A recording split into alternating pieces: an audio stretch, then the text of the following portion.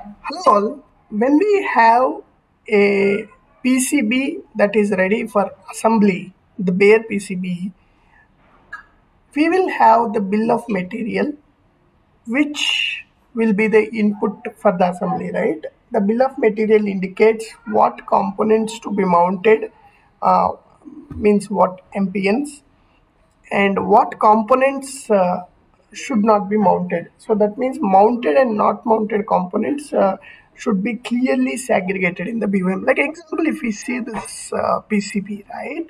So here uh, we have um, components which are mounted. Okay, so these are all the components which are mounted, but we can see some of the pads which are not mounted. Okay, so the, here the components are not mounted. So how okay so the component is this way actually. Okay so how does assembly guy uh, uh, get to know is basically we said it's from the BOM list or we will have a separate DNP list. Now um, you can also see here this is one more component. How to include this DNP in the schematic is very important because schematic is the interface from which uh, we get the uh, DNP related details uh, into the assembly. Okay, so let us look at how to include the DNP components, how to indicate the DNP components, especially in the KiCad.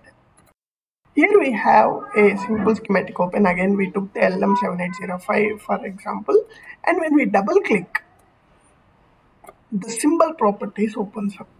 Now, if you see here, um, there's a, uh, a attribute, an attribute called do not populate.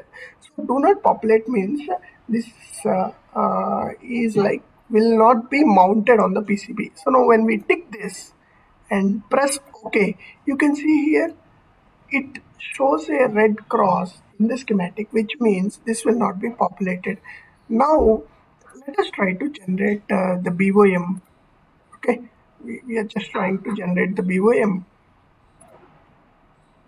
when we open the uh, BOM you can see here these are the list of components in our schematic C1 C2 C3 and U1 and U1 under the DNP section you can see it is mentioned as DNP okay. So that means this component will not be mounted in the assembly so assembly guys have this BOM, they know this should not be mounted and they'll skip this part. So this is how we indicate the DNP in schematic uh, and that's how it flows down to the uh, assembly guys.